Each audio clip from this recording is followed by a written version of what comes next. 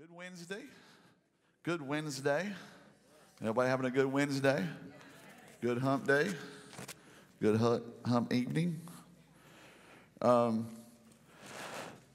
well, what I was going to do for the first 10, 15 minutes last week, actually, I wasn't going to do it at all down the first 10, 15 minutes last week, has turned into two weeks.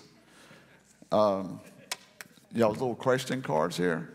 And I had, and I wasn't going to do it this week, but I had so many people come up and and want me to go over some more. So, so I will. Why not? I mean, y'all want to know, then we'll, we'll, we'll, figure, we'll figure it out. Um, try to try to figure it out. So, so I went through them. I had a chance to. Last week, I got so many. I really didn't have a chance, obviously, even read them all, let alone answer them all. Uh, but I sit down and I was when I when I was reading them, going over, I thought, man, you, know, you guys are. I, I, mentioned last week about you know, will my pet go to heaven? Kind of you know question. I was like, man, y'all in the right church. I mean, and, and we think alike, th- think alike. When I first started, whenever I, I was brought up in church and um, my whole life, and third generational uh, pastor, my grandfather, I got an uncle, my grandfather, and myself, so you can find three generations in there in church. Whole family, I went to church. Um, and then, but to be honest with you, whenever God called me into ministry, I, I, knew, I knew a lot about church, but I really didn't, didn't know anything. I found out that everything that I knew, I was told to believe that. And which, which is fine. I mean, you're told you just believe it and you, you, you trust the people that, that speak into your life. You gotta, you gotta, you gotta, if you don't trust them, I always say, if you don't, if you don't, you know, how, how do you know you're in the right church? If, if you trust me as your pastor, then first of all, you're in the right church. If you don't, you're in the wrong church. Find somebody that you trust.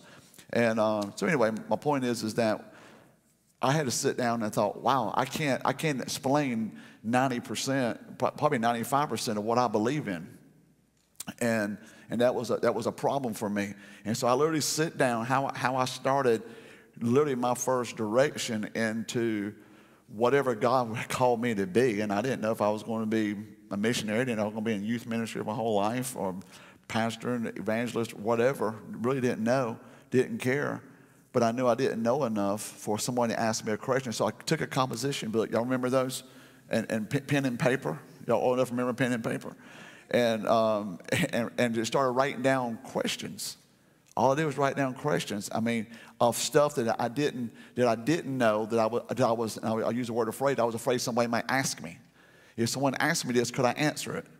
And I just wrote them down. I, and I, I, mean, I didn't do it like this one night. I just wouldn't do anything else but just constantly keep questions coming to my mind. And, and a lot of them, you know, was questions and then about that. And so that's, that's what I did. I still got that composition book. And, and, and then I started studying. That's how I studied the Bible and answering questions that I didn't know based on the Word of God. Now, I didn't have a computer, tell my age, I didn't have a computer. And, you know, and so to, you know, to study some, a concordance was a book can you imagine that? Not, you know, not blueletterbible.com or a software or anything else. You know, the, actually had a Bible dictionary. Um, I actually had um, Matthew Henry commentary. Come on, somebody. I mean, Matthew Henry, if he said it, I mean, it was, it was the gospel. And um, anyway, stuff like that. And so I began to find out. Anyway, so my point was is that I, I was, when I was reading some of these questions, I thought that um, man, that's some stuff I probably would have wrote down years ago. So I wrote down some stuff here, or didn't write down some stuff. I just broke the cards, some of the cards back in. You see, my it's it's it's, it's thinner. I try to put some kind of direction into them. Last week, I loved last week. I was on the fly. And, um, and I, I love challenging myself to the point I, I, just get you guys to ask questions and, and see, where I, see where I go with it. Holy Spirit is, that's why the Bible says, Paul told Timothy, study to show yourself approved. There's things that your spirit gets in your spirit that your mind can't remember what you did yesterday, but it's in your spirit. And that's why you constantly stay in the Word. You constantly put it in your Word. You constantly come in there, and if you need it, it will come out.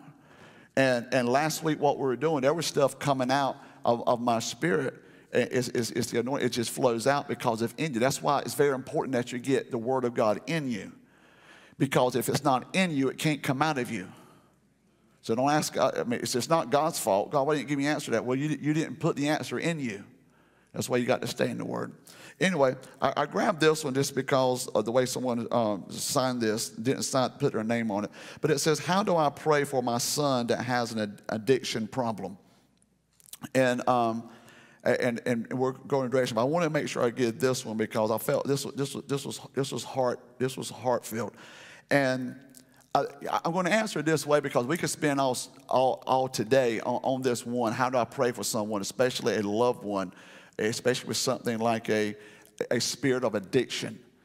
And you know, we can go through the whole. We can we can break it down to obviously it's, it's a choice, it's, it's a will.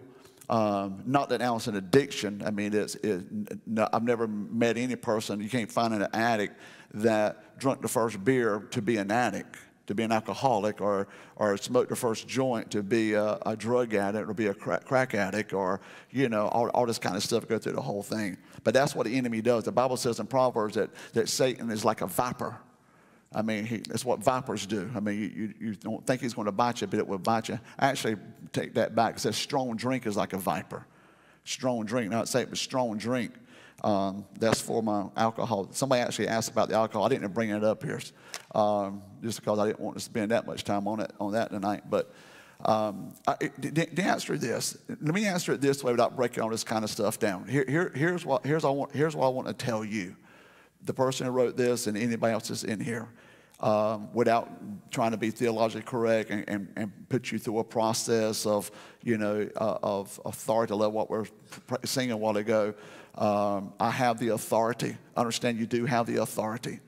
Um, as a parent, this is a son. As a parent, don't ever, I don't care if they're four or 40, you still have that authority. God has given you that child. And I always say, I do it through parenting teaching. Whatever, every child that God has given you, He's also given you everything you need to raise that child. He don't just give it to you and have a clue. That's, that's why the church can't raise your children. That's why your family member can't raise. That's why you have to raise your children. We can give you the instructions, give you what you need to help you raise your children, but you have to because God gave you the ability to raise them.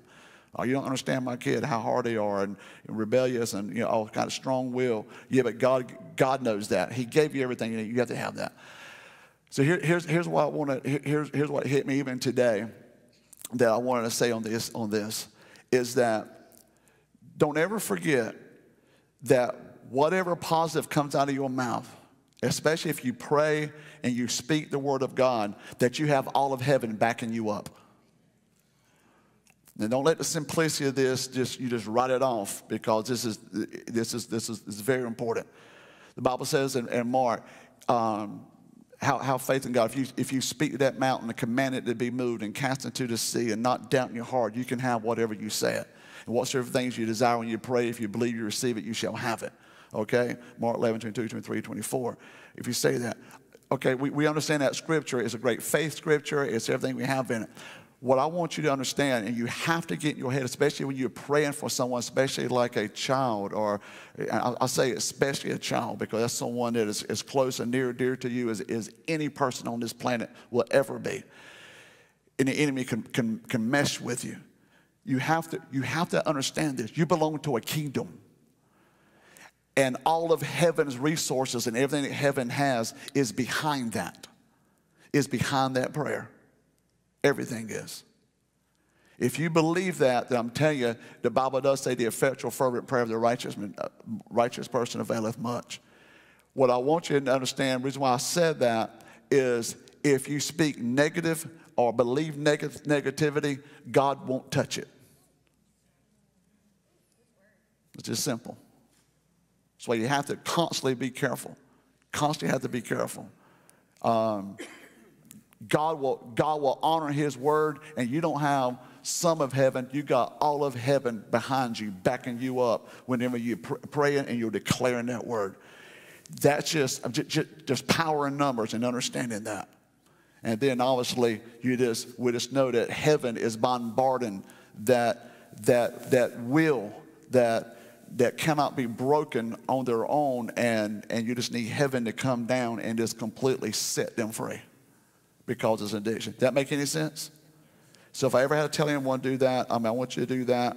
Um, there, there's so much I could go on that. That's just literally what brought in my spirit today. And I grabbed this one. I said, that's where that one goes. Here's, a, here's another one, kind of kind of close to that. Not really, but a little bit. Trying to put them a little bit close together. Why are there so many trials when you are trying to do your best and you don't know what else to do? even when you pray and pray. Why is there so many trials when you're trying to do your best? Well, John 16 says, In this world, um, you will have trouble. I mean, there will be trouble. Matter of fact, can you put John 16 and 33 up there somewhere? John 16 and 33. Um, I think I'll turn it myself after Sunday's fiasco when I told him to put the wrong scripture up there. put it up there. It's not there. I, I have told you these. I have told you these things so that in me you may have peace. In this world you will have trouble, but take heart. I have overcome the world. Um, let me let me say this about about peace. Jesus doesn't promise peace, he offers peace. And whenever you think that, that he promises you peace in a situation, then be honest with you, you're in biblical error. He doesn't promise you, he offers, he offers you peace. And you can find, you can find peace in the middle of a, of a storm. But, you, but in this world, you will have trouble. You, ha, you will have tribulation because we're on this side, we're on this side of heaven. Um, so why is there so many, why is there so many trials when you're trying to do your best? Well, be honest with you, whether you're doing, you're trying to do your best or not, you, you're, having, you're having trouble. I haven't always been saved. I had a lot of trouble before I got saved. When I wasn't even trying to do my best. I wasn't even trying to do anything. So you, are going, you're going to have it. There, there, there's a devil loose, and he's, he's, he, he comes to kill, steal, and destroy. And, and just because you're not saved doesn't mean he's still not trying to get you. But he's, he's, always, he's always, trying to, always trying to get you. Um, so, so why is there so many trials? Even you're trying to do your best and, and you don't know what else to do, even you're trying, when it, trying to do your very best. I, I actually thought about anytime I think of this because, we, because I, I feel like the, I've been trying to think even after last week, trying to think, what do you really mean by asking that question? And I, here's what you have to remember because you said, this person says, even when you pray and pray and pray, it don't seem like it gets any better or it still, still keeps on coming. Let me give you a, a Sunday school illustration. When David stood before Goliath, he took, he, he took the rocks, he took the rock and he threw and he knocked, him, he, he knocked Goliath out, right? Bam, down he went. Okay? Our problem is we think that whenever we have a good service, whenever we're getting close to God, whenever, you know, we, are finally in our Bible, we think we're, you know, we're really on the pathway uh, that we've never been before. And so now that we're decided to serve God, that the enemy's not going to come against us anymore because we do all these things. First of all, yeah, enemy, he, he is going to come against you, just, but he's going to do it either, either way. But what David did after he knocked Goliath out, he didn't just walk away and say, okay, everything's good. He did what? Took his hat off. He took his hat off. He took the sword and took his head off. Head, why head? Head represents authority. Authority is right. The enemy, so let me say this. Go ahead and say the enemy will keep on coming after you. The enemy keep on coming after you until you remove his head. Until you remove his authority. The reason why he keeps coming after you concerning whatever, if it's your mind, if it's your body, if it's whatever it is, I don't know. The enemy comes after you so many different ways. He comes after me totally different. He comes after you because my weaknesses is not your weakness. You, I mean, he, he, he, knows you, he knows your weak link, and he comes against you. And, and we think just because we're doing well, we think just because, um, you know, we're, we're on, it's 7 o'clock on a, on a Wednesday night, we're in church, the enemy should leave us alone. He's not. But you have to understand as well, you don't just throw one rock at him and he, when he falls down, you, you can knock him out several times. But he'll just keep on coming after you. And he will keep coming after you until you remove his authority, you remove his right. Okay, well, how do I do that? Well, the sword represents, if the head represents authority, the sword represents the word. And so you just keep on coming after him with that word. And you can literally envision that you, you literally, let me say this just part of my spirit. Whatever you, it's not what, whatever you fight, you will never have to fight again. It's whatever you fight and win, you never have to fight again. As Christians, we get we, we're too soft. We just we just give up right in the middle of the fight. Honey, don't give up. Fight until you win. Fight until you get that deliverance. This is, this is a battle. Paul says we wrestle not against flesh and blood, but powers and principalities. This, this, is, this is a battle. If, if it's a battle over your mind, if it's a battle over your heart, if it's a battle over physical things, emotional things, whatever, it is a battle. Somebody's going to win. Remember what I told you Sunday? There's only two types of people those are being dominated by the flesh, and those are being dominated by the spirit. And you have to get to the point that you're being dominant. And the reason why I say spirit, said, where's the enemy in that? He's on the flesh side. He feeds off the flesh. Right? I mean, I'll give you a good illustration. In the book of Genesis, the enemy showed up as a snake. Actually showed up as a lizard because he had, he had, he had, he had, he had legs. In Revelation, he showed up as a dragon. Somebody been feeding that joker. He went from a lizard to a dragon. He, and what does he feed off of? He feeds off your flesh. Feeds off your flesh. Well, that's not, so, so we always think, we always think that flesh is not spirit. I mean, it's not, it's, it's not, not spirit or, or, as far as like evil spirits. Evil, the, the, the enemy feeds off your flesh. So when you're being dominated by your flesh, then you are empowering, empowering spiritual wickedness and principalities and powers to, to come, come, come against you. Remember, remember, he has power, but he has no right. There's that authority again. So anyway, so keep on. Uh, so, so, so, with this, we can go, we can go so many, um, um, so many things on that, but, but keep on going after, keep on, and, and quit, and quit, quit trying to get an answer as to why you're going through what you're going through and replace that why with what are you going to do with what you're going through. That was a lot better than you shook your head on. Why am I going through this? Why am I going through this? Why am I going through this? Why am I going through this? There, there's no answer to tell you why. There's some things we don't know. So to change the narrative, it's not why am I going through what I'm going through. What am I going to do with what I'm going through? Hmm? Want me to say it for the third time? Because it, it really get, it'll be, it really get into the Holy Trinity now. It's not why you're going through what you're going through, you because you, drive yourself bonkers. Okay, I'm going through this. What am I going to do with it? What am I going to do with this attack? What am I going to do with this mindset? What am I going to do with it? I made a huge mistake. When I, when I first came here, one of my biggest mistakes I had is that I didn't like nothing. Didn't like Shallotte, didn't like Brunswick County, didn't like the church, didn't like nothing. I said a prayer a couple years before God sent me down here when I knew God was transitioning my ministry. I said, God, I don't care where you send me. I just, I just, I just, I just want to be, be where you have me to go. And it was about two years later when he dropped me off here. I was like, okay, God, I'm, I got a lot of other prayers that you didn't answer. Well, you answered this one. Why didn't you answer one of these that, that explicitly? And I'll be honest with you, we did. When we hit the ground running, and boy, we come against resistance like you wouldn't believe. All kinds of stuff. And I went from here, and, and, and, and was, it's my church. They didn't like me, I didn't like them.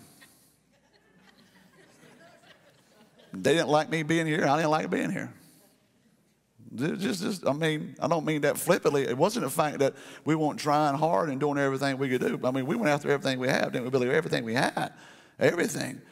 But it just, everything won't work and everything won't work out. And finally, and it was just, it just all, kinds of stuff. I ain't got time to go through all that. And the Holy Spirit dealt with me. He says, You got to be the change you want to be. Don't just keep on whining and complaining about everything. Be the change you want to, not you want to be, that you want to see. And, and, and quit and, and, quit killing it, what you're trying to grow. You can't grow something you keep on trying to kill. And then, um, so, so that's, that's, the, that's the point that it's, it's not why you're going through what is. What are you going to do with what God has dropped you in? And now, next year will be 25 years, believe it or not, since 1998 when we came down here. And I'll tell you the reason why. If you're a pastor, if you listen to this, or, and a lot of people do, and even here tonight or whatever, don't question God why. Ask God, what do you want me to do with this? God, what do you want me to do with this? What do you want me to do with this? And he'll, he'll bless it. Amen?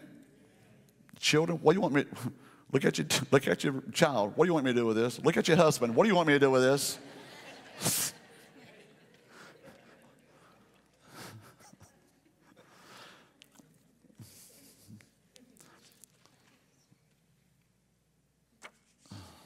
Why do bad things happen to good people? Because bad things happen to good people. I just answered that. Did you hear what I said? Why do bad things happen to good people? Because bad things happen to good people. You can see the one I just said on that one. Um, I was going to do this one, but I'm going to wait um, to like next time. Okay, let's go something a little bit funner. See, when you pastor a church, you get make up words. Funner. Is there a second offer of salvation after the rapture? Figure we do some eschatology stuff. I mean, you know, Jesus is coming back. Is there a second offer of salvation after the rapture? I guess what, and you can find Second Thessalonians chapter number 2 and verse 10 and, and put it up whenever you get it. Um, I guess what you're asking is, well, I don't know. I mean, just, is there a second offer? A second offer? I read your question the same way I read my Bible. You gotta, you gotta, you can't just read it, you gotta read it. So somebody put a second offer. Now, let me deal with what, what this question didn't say. Will people get saved during the tribulation? Because that's after the rapture. you got you got to understand the chronological order of, of, of end time events. The next great prophetic uh, prophecy is going to take place is the rapture of the church. That's catching away the saints. Okay, to be gone. After the rapture of the church, then starts the tribulation. After seven years tribulation, then Jesus comes back. Two different events. Okay, so during that tribulation period, will people get will people get saved? Yes. Why? Because Holy Spirit is still here. The Holy Spirit is still here. Um, the church is taken away, but Holy Spirit is still here. And no man can be saved except for by the Holy Spirit of God. So people will still be getting saved during the tribulation period. Okay? There, there will be. Bible says, Whosoever call upon the name of the Lord shall be saved. That's in Acts chapter number two. Whosoever call upon the name of the Lord. I'm here to tell you there will be people calling upon the name of the Lord during the tribulation period, like never before.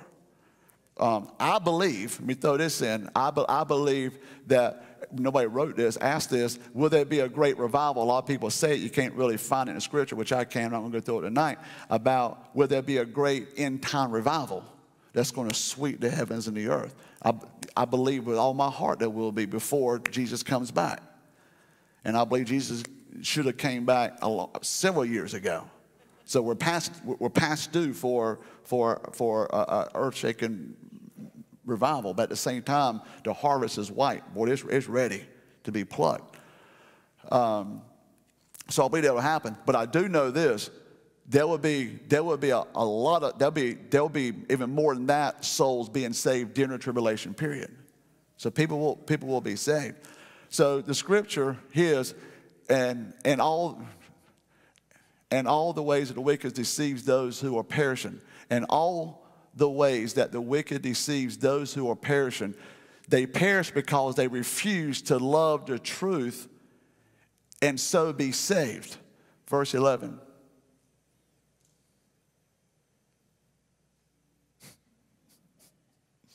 For this reason, God sends them a powerful delusion so that they will believe the lie verse 12. And so that all will be condemned who have not believed the truth, but have delighted in the wickedness. Keep that one up there. So the question was Is there a second offer of salvation after the rapture? The second one means you're condemned because you didn't believe the truth. The first offer you rejected. So let me go ahead and make you night. Let me put it to you this way, simple to know how. People is not, if Jesus comes back tonight, people who's not in here tonight, they still got a chance here in tribulation. The fact that you're in here right now and listen to me, you don't have a chance during tribulation.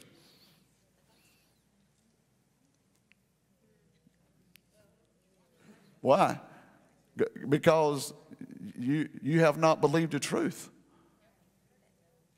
Go back to verse 11. I'm teaching how to study the Bible. For this reason, God sends a powerful delusion that they will believe a lie. Go back to verse 10 and deal with both. All the ways of wicked deceive those who are perishing. They perish because they refuse to love the truth and so be saved.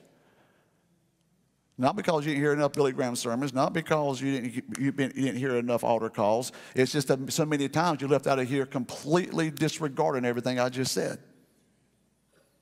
And the most important thing, you completely disregarded the calling of the Holy Spirit of God who followed you all the way to the car. And you had to battle through some things. And then finally you just said no.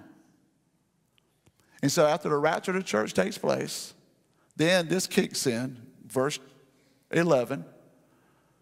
For that reason, God sends a powerful delusion so now you'll believe a lie. If you don't believe the truth, if you reject the truth, you're going to start believing a lie. And then verse 12, so that all will be condemned who have not believed the truth, but have delighted in wickedness. That's what the Word of God says. I don't like it, but I'm just here to tell you, if you're gonna, if you're gonna reject, if you if you reject it, if you reject Him now, with with with with with the church being here, with with with singing and preaching and, and just blanks and you know LED borders, reason why, and here's your health for your kids and all this kind of stuff. Honey, when the when the church is, eh, you you won't do with everything God gave you, and then you just you're gonna be, God will send an illusion that what you what you don't think you'll believe in, you will fall for.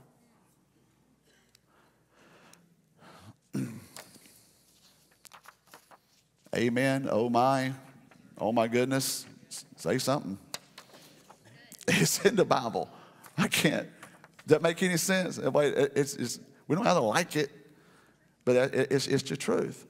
And so, I mean, you have to, you have to, you, have, you have to watch it. You have to, have to watch it. I was pretty interested, just kind of going this. Um, before I get to that, last week, what was it somebody asked? Was it, oh, I know what it was, the cremation. The cremation last week, we had several. I forgot, how, it was like five or six. Uh, just coming up with cremation, I thought was, you know, but somebody came to me after service and kind of gave me a little bit. I, I, I, gave, I gave the answer based on the fact of, you know, the, the person you know, being cremated. I mean, how many people visualized the poor dude, you know, he's enjoying heaven, thought he'd finally make it, and then because his, his wife cremated him, he, has got to leave. you all remember that? Like, ah, please she did that. I go to hell because she burned me up. Um, and the person doing it, you know, just because, you know what? Anyway, so we, we dealt with that. The next one was the reason why a lot of people ask this, and I, and I forgot about this, this is years ago, I remember this, is because of the fact uh, at the trump of God, the dead in Christ will rise first. And talking about their body, you know, the dead in Christ. 1 Thessalonians 5 16. Um, at, the, at the trump of God, the dead in Christ will rise first. Then those are then those are alive remain shall be called together to meet the Lord in air, and so shall ever be with the Lord. But the dead in Christ are going to rise first. Well, if, you know, if your wife just cooked you and you're nothing but ashes and an urn up on the, on the fireplace mantle, which when she gets remarried, you're now in the attic. Um,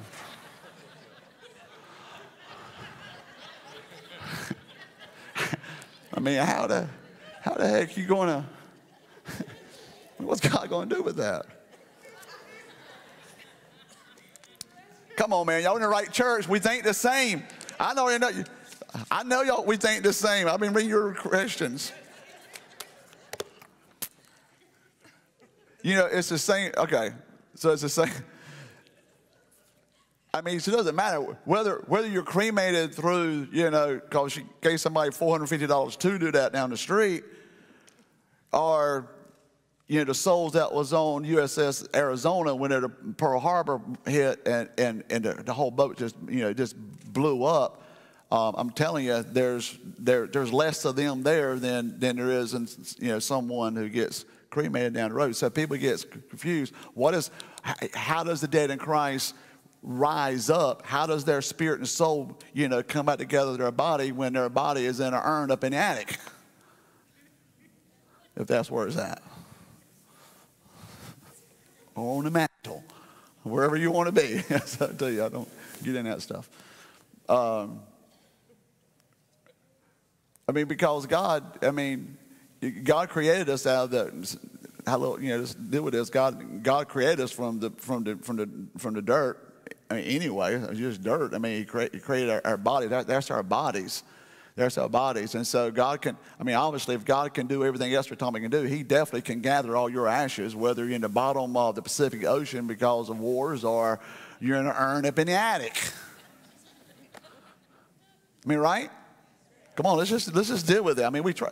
We we we try. My grandfather told me this. He knows more than I than I have forgotten about about this stuff. 90 years old, pastored forever. He looked at me whenever in 1980 when I came to pastor his church. He looked at me. He said this at 88 years of age. He said, "Son, 98 percent of this is common sense. Use it." And this is a man, I mean, who who just did things in the spiritual realm that that I, I still hadn't even. anyway, a lot. And so so you, sometimes you, you, you, just use, you use your common sense on this. So, so of course God can, God can do that, whether you're six foot under with a tombstone with your name on it or not, or whether your ashes were spread out, you know, over the Atlantic Ocean, over a baseball field. It doesn't matter. Here's one thing I do think is pretty cool, though, is, you know, whenever we talk about our spirit and soul enter back in our body, the reason why it's important that that happens, first of all, is that we, we get a glorified body we get a, we get a new body anyway, so he's going to put it back together. This, this uh, immortality is going to put on, uh, this, this, mortality is going to put on immortality. This, this corruption is going to put on incorruption. That's what 1 Corinthians 15 says. And, and so, the, so after the rapture, whenever it takes, at the rapture, when this takes place, so because I told you, be absent from body, be present with the Lord, and your spirit and soul is, is, is, is in eternity. And uh, if, if you're with Jesus, and, and it's what's important that we that our, our spirit and soul are reunited with our body is because the way it has it right now is that God got two thirds of us back. He got of, of, his creation. He got our spirit, he got our soul, but he didn't get our body because our body is either you know in a nice little casket six foot under the ground, or you know it's, it's in an urn or it's spread over somewhere because of the, the, the disastrous way it, it passed away. And so theoretically, thinking, you can see that Satan didn't get our spirit, didn't get our soul, but he did get our body. But the trump of God, God says, oh, no, no, no. You didn't get a spirit, you didn't get a soul, and you don't get his body because I'm going to resurrect that body and put it back with a spirit and soul. It'll just be a, a body that will live with God forever and ever and ever. So if you don't like your body now, don't freak out that you're going to have some time away from it and then God's going to give it back to you. No, it's going to be a cool body. You're going to like it.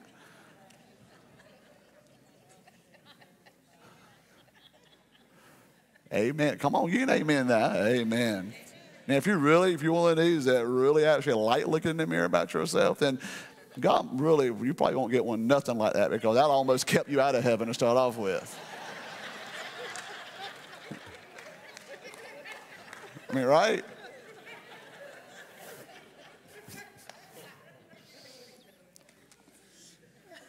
Does that make, I mean, come on, does that make sense? I can throw all kinds of scripture out and prove it back up every single thing that I just said, but that's just what it is. So our spirit and soul will be, and the whole thing about our body, so if we're still alive at the, at the trump of God, in a moment, and this corruption can put on incorruption, this mortality put on immortality, and, and in a twinkling of an eye. He didn't say a blinking of an eye, he said a twinkling of an eye. GE says a twinkling of an eye is one one hundredth of a second. That's quicker than a, that's quicker than a blink. So in a twinkling of an eye, we're going to be changed. The rapture is going to be changed. How many of you can't say, Father, please forgive me, I'm a sinner, committed sins, I will not ever do it again. Please let me take go with you. you can't do that in a blink, let alone in a twinkle of an eye. Right? So you better live, you better live right. Now, I just told you because you sit in here and heard this, you don't have a chance in tribulation. I'm the messenger, man. I don't make, I, I didn't write this, the book. I, I read the book. I mean, right? So anyway, so, so, so my point is, is that um, so, so we're going to be changing the moment we're going to, even the whole thing with the rapture. We always think the rapture, we're going to be here, we're going to be gone. I don't think we're going to hang here long, but he didn't say we're going to be gone in a moment and twinkle of an eye. We're going to be changed in a moment and twinkle of an eye. I don't know how long we're going to sashay around here in this new body. I hope it's a few minutes anyway. Wouldn't that be cool? What's up, everybody? Yeah, I'm glowing. Why ain't you glowing? Told y'all listen to me. Told y'all I crazy. And about that time, we're going to start heading up. Right? Come on, my story's a lot better than the over dead dry religious one y'all have. You know, I mean, I just think it's going to be, oh, okay, right? So it's going to be it's going to be changed, and so oh, it's called, so our body. So so we, but the dead in Christ are going to rise first, and then those alive remain. All this is going to happen at one time. So the body is going to come up, ours is going to be changed all, all at the same time. All at the same time. Whether you've been, whether you've been, you know, whether you've been dismembered and whether you've been cremated, whether, you know, you're, I mean, or whether, you know, you're just laid out in your best suit. Doesn't matter. God's going to put us all together, and, and, and, and therefore, because every, every bit of us belongs to God. As a child of God, every bit of us belongs to God. Devil can't have any of us, and he won't have any of us. That's why the, that's why the healing of our spirit, soul, and body is very important to God. Amen. So, um, so that was that was fun.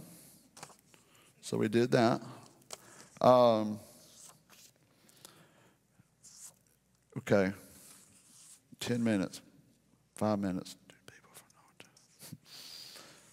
Oh, we don't have time for that one now I'm running out of time trying to figure out why does Satan have power and presence on this earth? Why does, oh, I didn't that one last week. Why does Satan have power and presence on this earth? Why doesn't God remove him? I told you he won't be dictated. God has a plan. You were here last week? He's got a plan. Just because the world's going completely crazy doesn't mean God's going to change his mind and hurry up and do something. No, he's cool. He's good. No matter how, how crazy, how wicked, or whatever, the only, the, uh, the only people that can hasten the coming back of the Lord is what Peter says are Christians, not people doing bad but, but, but, but saints doing good. Um, I'll pick this one. Is it true? We really want to go to another direction real fast. Is it true that when casting out evil spirits, if the people is not truly strong in Christ, it will go in them? It is a good question. So the way I, the way I read that, if you're casting the devil out of somebody or trying to cast the devil out of somebody, and so let's, let's, let's break it down, okay? I'm going to talk, I'm, I'm teaching demonology right now. Um, so, so let's, let's, let's lose, just use this question. So, you know, the Bible says, um, let's, go, let's, go to, let's go to Mark 16 real fast. These signs shall follow them that believe. Okay? Everybody listen to me because you're going to start saying, well, I'm not a preacher. I'm not this. I don't speak in tongue. I don't do this. I don't do that. I don't show everything. The prerequisite of casting out devils and laying hands on the sick, according to Mark 16, is these signs shall follow them that believe. Comma. In my name, you shall cast out devils. Right? Is everybody with me?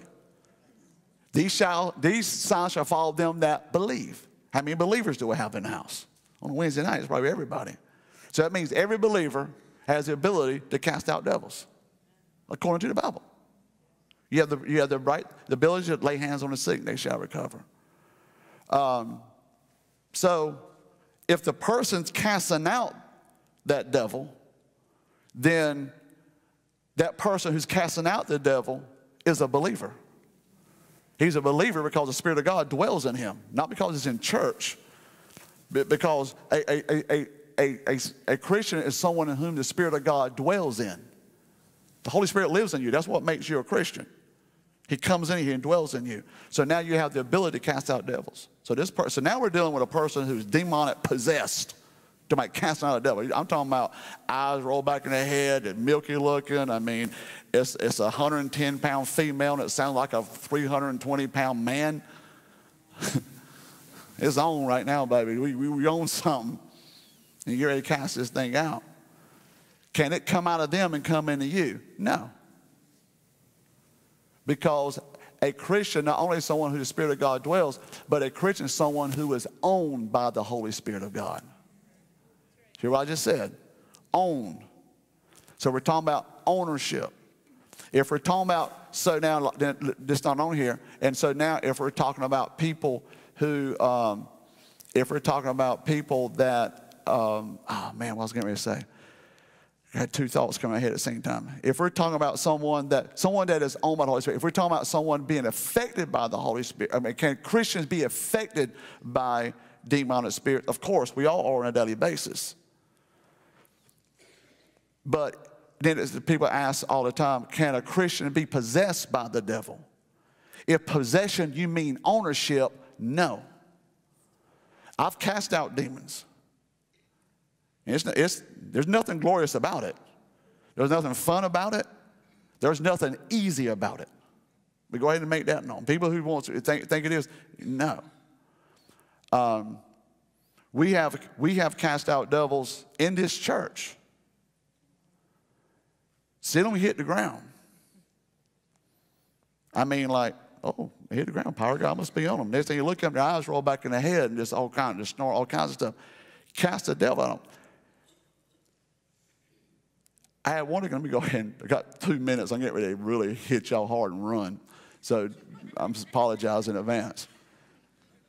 This person, the devil came out of him, jump, did jump into another person. How do you know? It was his brother. How do you know? I'm not one of these you cast out. I don't interview demon spirit. Who are you? What's your name? Why are you there? Come out. That's, that's the only interviewing I do. This guy looked back at me. You probably remember that night. I don't know if you were there or not. Huh? Oh, yeah, all of them say no. Yeah, I don't want to go. No, you coming. But yeah, they say no. But this one right here, anyway, so, so, so my point to answer this question is that, um, is that he says, my name is murder. And it was two, there was two other them. He had three. My name is murder, and I'm not coming out. And anyway, we cast it out. Um, before I could cast it out, I believe you were there. We're going way back. We're going back like 15 years or so. And I turn around, and I turn around, and I, and I was we're having trouble, and I turn around and look, and the Holy Spirit showed me a person standing there, and who it was, and I said, "Move him." We're at I said, "Get him, move him, like from up there," because there was there was a non-believer that was up there, and it was hindering what me trying to cast the devil out of this person. We moved him out, and within a minute, bam, it was completely set free. This person was completely set free. The guy that we removed killed his daddy the next week. Right down here on 211. Spirit of murder left him, went into him, bam, shot his daddy. Now, I didn't know it. I mean, don't get me wrong, I didn't know what was going on. So I told you you're in the right church. This stuff is real. So, so when I get up and say we need to teach our children a whole different realm, this whole Halloween stuff that everybody's like, I just want to do or whatever. Dude, there's a whole realm out there you have no idea. And I don't say it just because I want to fight or I want someone to be labeled whatever. Man, when you go through stuff like that, it changes you. And you see it and you hear it. So, um, so what's your point? When that devil left that person, meaning ownership, that demonic spirit, it cannot enter anybody who, is, who, who, who has a spirit of God living on inside of them. But if there's someone in there who doesn't, who does not, I have, I have cleared a room. I've, I've, I've seen people and the Spirit of God check me and say, Do not cast this devil at this person. Take them to another room. We take them out of room and deliver them there. Why? Because I don't have clearance in this room that everybody in here is not owned by the Holy Spirit of God, and there is an opportunity that devil can go into that person. Don't y'all love demonology? Well, I didn't know that, Pastor Sherwood. I'm just trying to make it to heaven.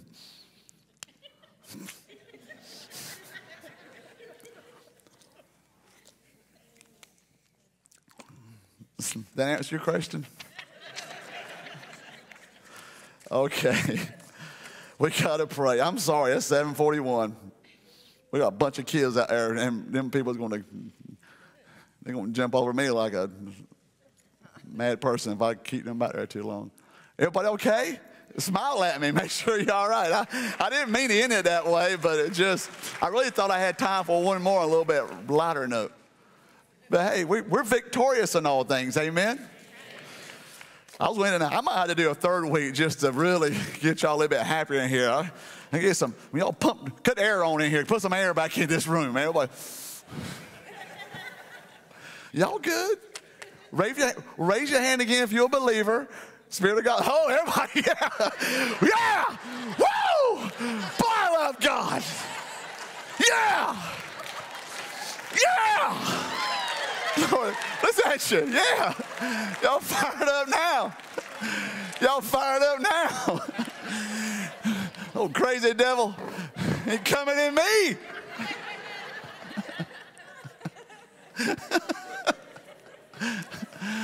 uh, Father, we thank you for your word, because your word says it's free, God. We thank you, Lord, that the power of life and death is inside of us. Thank you, Holy Spirit, for being with us, God. Lead us, God, and direct us, God. Take your word and everything we've learned tonight, God, and apply it to our heart. May we use it only for ourselves, but for every person we come in contact with. In Jesus' name, I bless this congregation. Amen. Amen. All right, God bless you. We'll see you Sunday.